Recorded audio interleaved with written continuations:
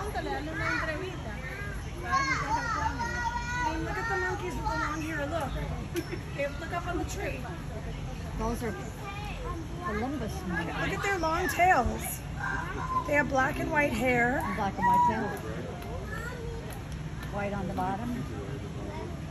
Wow, they're cute. They fly in the air. They jump really far. Come on, sweetie.